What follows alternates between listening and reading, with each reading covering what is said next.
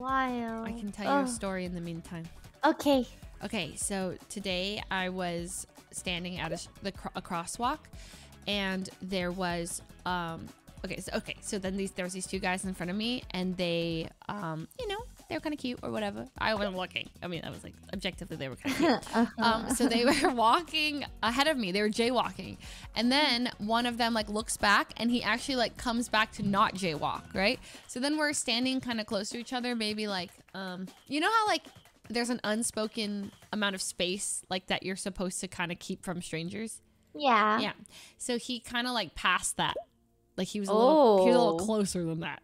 And then, but not like Oh. right next to me or not yet. So I was just like, oh, so I looked at my phone to like, cause I was like, oh, this is a little awkward. He's standing kind of close.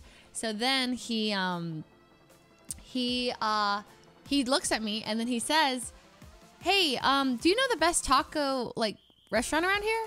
Like, where, where can I get tacos? I'm not from here. I'm from New York. And then, um, I look up at him in slow motion. Wait. Okay. All right. Okay. Is this real? yes, it's real. It's real, okay? Okay, so I look up um I I told him, "Oh, I'm not from around here either. I, I don't know this area." Um but I I told him, "You can just go on Yelp and type in tacos."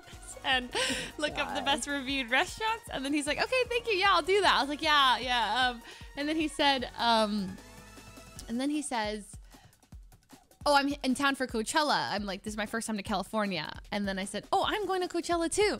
And then we kind of like, you know, start yapping a little bit. And then the crosswalk turns green. So we walk together and then we go meet his friend. Anyways, at the end, we, you know, we exchanged phone numbers. okay. And so, you know, that's where the to be continued. Oh,